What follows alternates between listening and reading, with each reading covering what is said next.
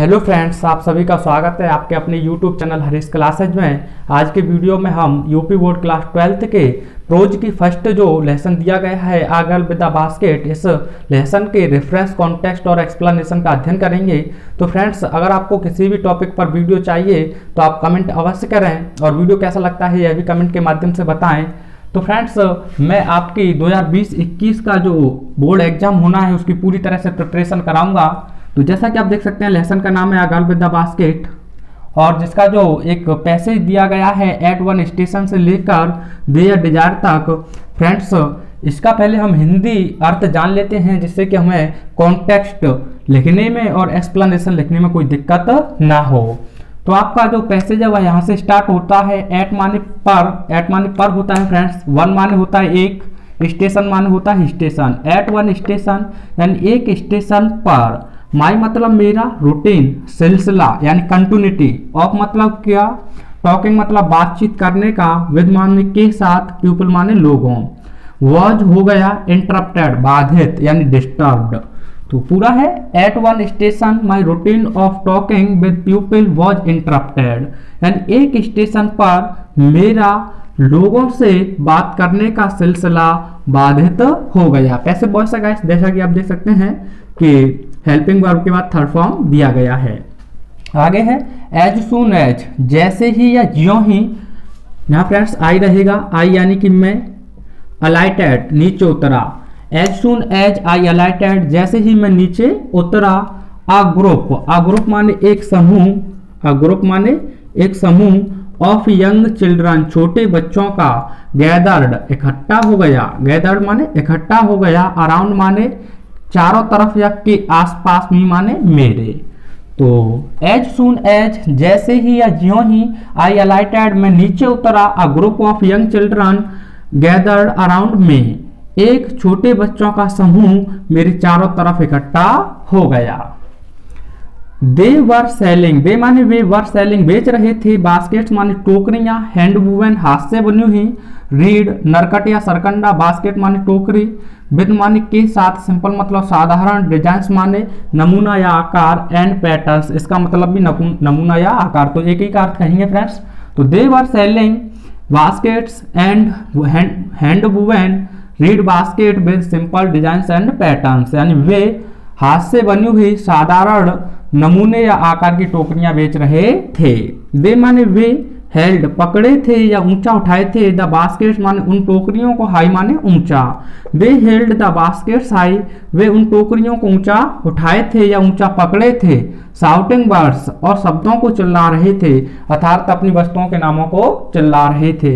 I did not no मैं समझ नहीं पाया। आई डिड नॉट नो मैं समझ नहीं पाया या मैं जान नहीं पाया। बट लेकिन कन्वेइंग बता रहे थे अनमिस्टेकबल स्पष्ट रूप से दे डिज़ायर अपनी इच्छाओं को।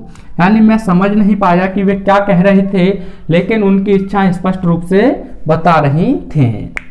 तो पहले फ्रेंड्स हम इसका रेफरेंस देख लेते हैं।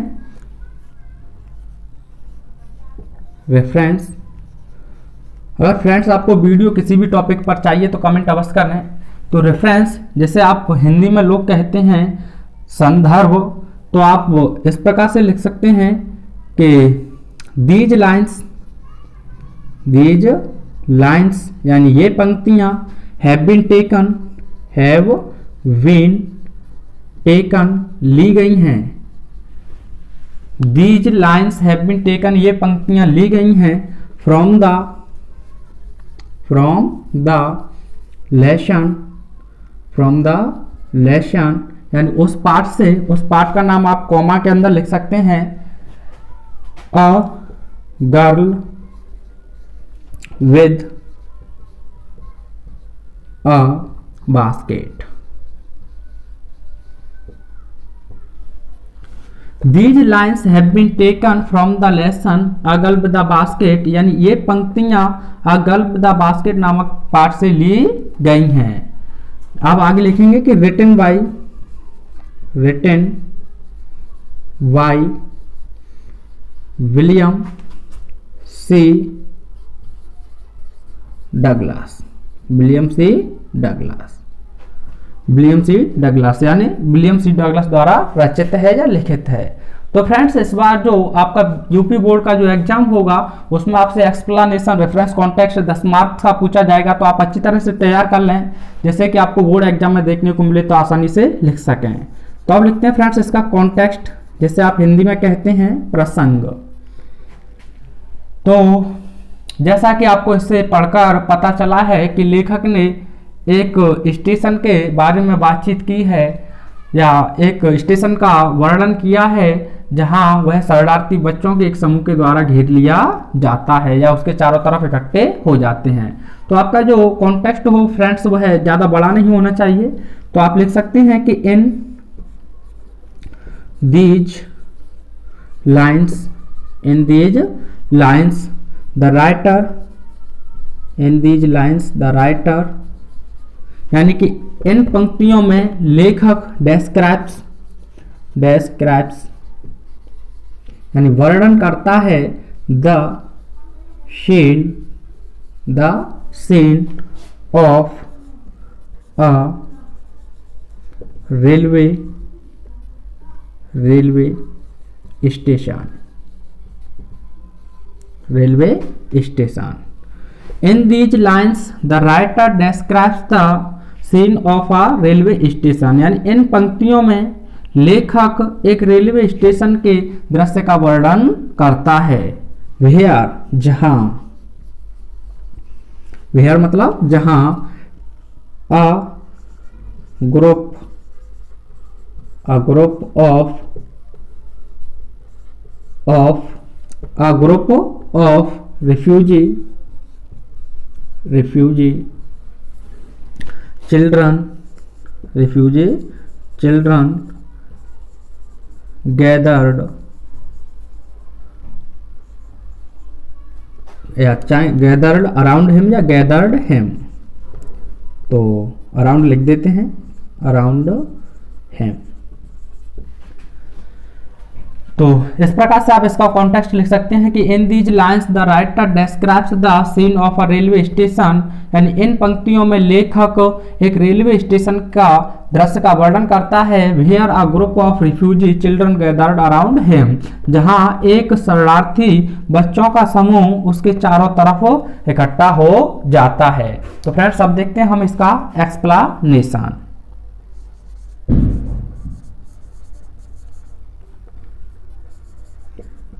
जैसे आप लोग कहते हैं हिंदी में व्याख्या।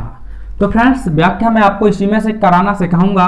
तो आपको इसे पढ़कर पता चल चुका है कि लेखक क्या कहना चाहता है। तो आप स्टार्टिंग इस प्रकार से कर सकते हैं कि in these lines in these lines यानी इन पंक्तियों में द राइटर द राइटर यानी कि लेखक सेज कहता है।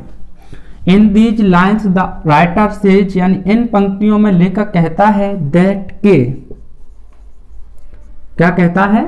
तो देखा है आपने कि at one station my routine of talking with the people was interrupted as soon as I alighted यानी जैसे ही मैं नीचे उतरता हूँ तो मेरे बात करने का सिलसिला लोगों से बाधित हो जाता है। तो आप आगे लिख सकते हैं कि in these lines the writer says that यानी इन पंक्तियों में लेखक कहता है कि as soon as as soon as as soon as यानी जैसे ही आई अलाइटेड मैं नीचे उतरता हूँ, किससे उतरता है?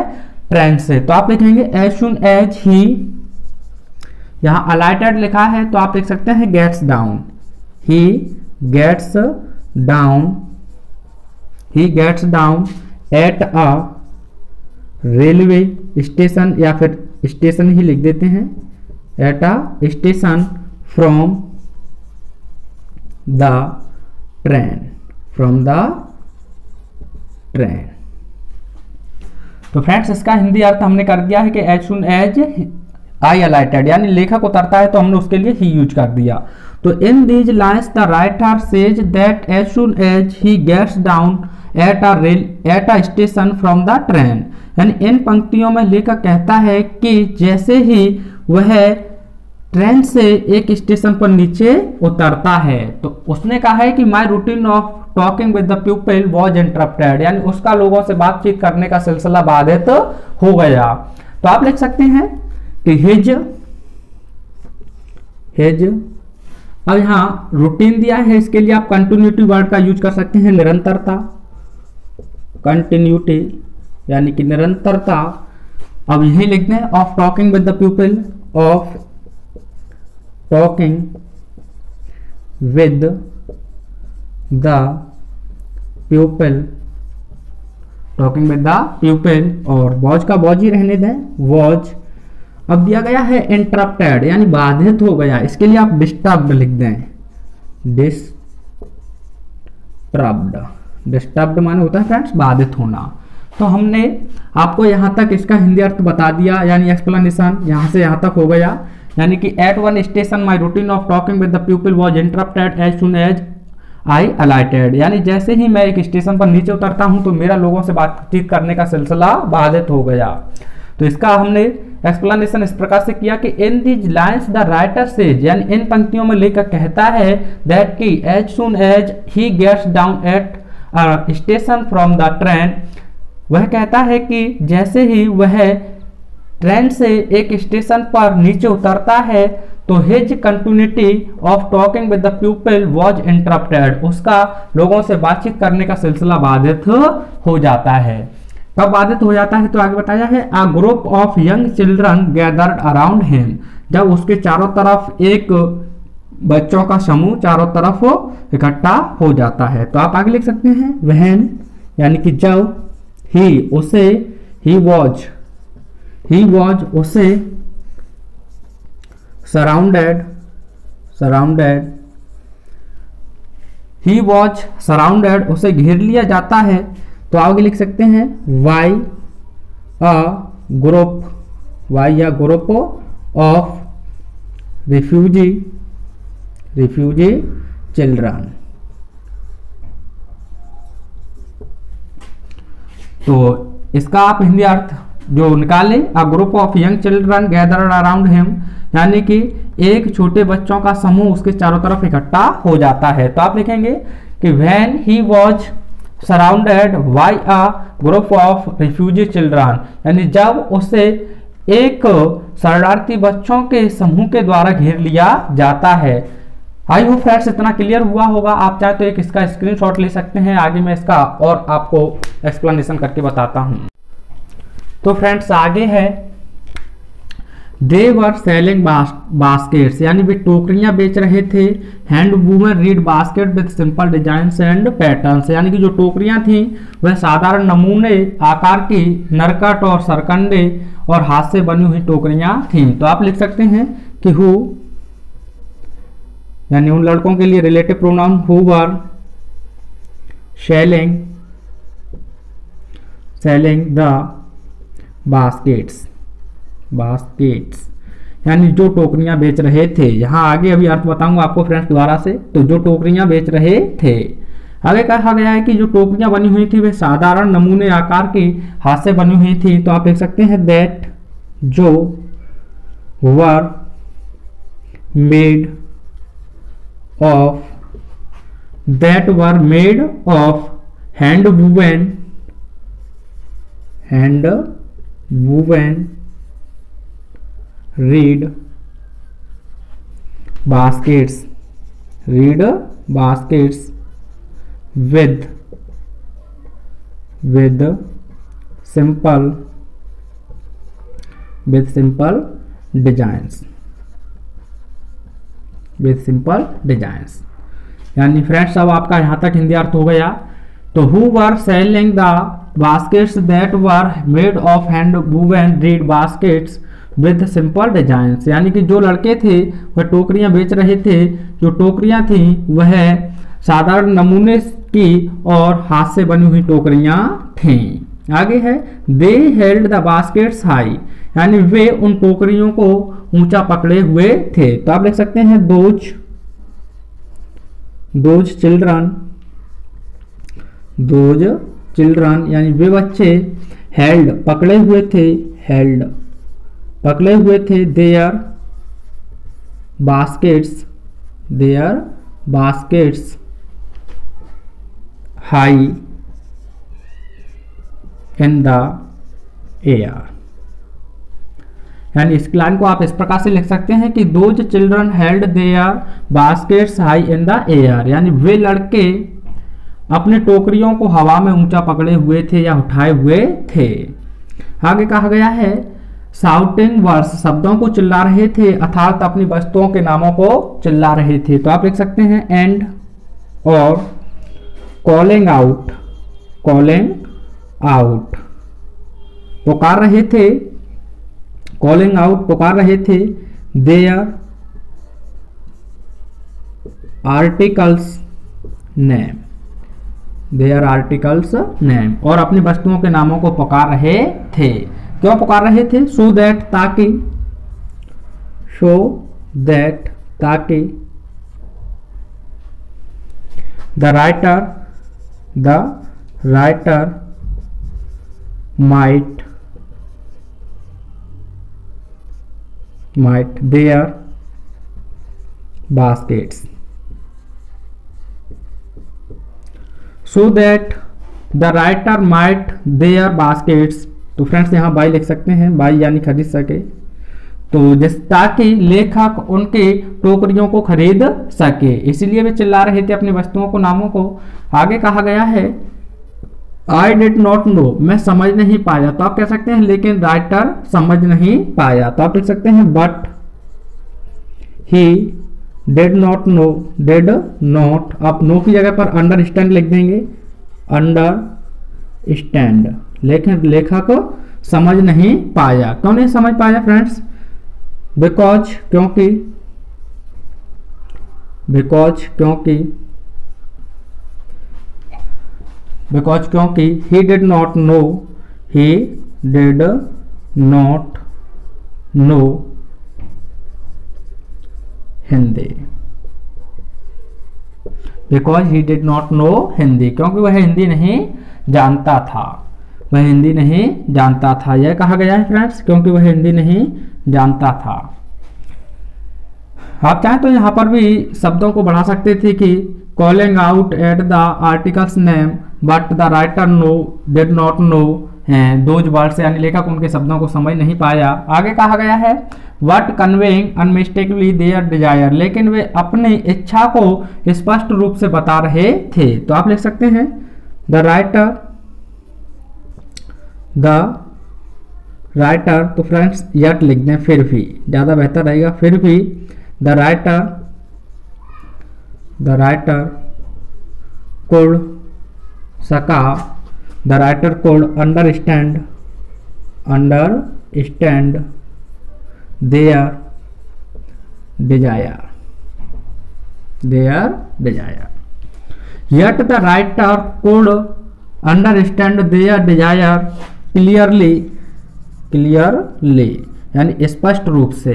यानी फिर भी लेखक स्पष्ट रूप से उनकी इच्छाओं को समझ सका। दैट के। क्या चाहता था कि ही शुड हैव, उसे अवश्य ही, या शुड हैव चाहिए थी?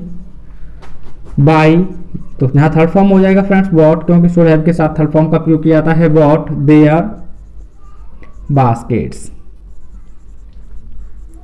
they are baskets यानी कि कि उसे, उनकी टोकरियों को अवश्य खरीद लेना चाहिए था। तो फ्रेंड्स मैं इसका एक बार आपको हिंदी अर्थ बता देता हूँ। तो in these lines the writer says that as soon as he gets down at a railway station from the train यानी इन पंक्तियों में लेखक कहता है कि जैसे ही वह ट्रेन से, यानी रेल से एक स्टेशन पर नीचे उतरता है तो his continuity of talking with the people was disturb तो उसका लोगों से बात करने का सिलसिला बाधित हो गया। When he was surrounded by a group of refugee children, जब उसे एक शरणार्थी बच्चों का ग्रुप घेर लेता है, यानी समूह घेर लेता है तो who were selling the baskets वे बच्चे टोकरियाँ बेच रहे थे। That were made of hand woven and baskets with simple design यानी वे टोकरियाँ साधारण नमूने या आकार की हाथ से बनी हुई थी। Those children held their baskets high in the air यानी कि वे बच्चे अपनी टोकरियों को हवा में ऊँचा पकड़े हुए थे या उठाए हुए थे and calling out their articles name और अपनी वस्तुओं के नामों को चिल्ला रहे थे। आप चाहें तो एक लाइन ऐड कर सकते हैं but the writer did not know those words लेकिन लेखक उनके शब्दों को समझ नहीं पाया। सो so दैट ताकि ही डिड नॉट बट तो आप यहाँ से लिखेंगे friends the writer so that the writer might buy their basket ताकि लेखक उनकी टोकरियों को खरीद सके। जहाँ वही रहेगा B U buy but he did not understand लेकिन वह नहीं समझ पाया, यानी लेखक नहीं समझ पाया बिकॉज़ क्योंकि he did not know Hindi, क्योंकि वह हिंदी नहीं जानता था। यट फिर भी the writer could understand their desire clearly फिर भी लेखक उनकी इच्छा को स्पष्ट रूप से समझ सका। दैट कि he should have bought their baskets कि उसे उनकी टोकरियों को खरीद लेना चाहिए था। तो फ्रेंड्स वीडियो पसंद आई हुए तो लाइक और कमेंट ज़रूर करें। Thanks for watching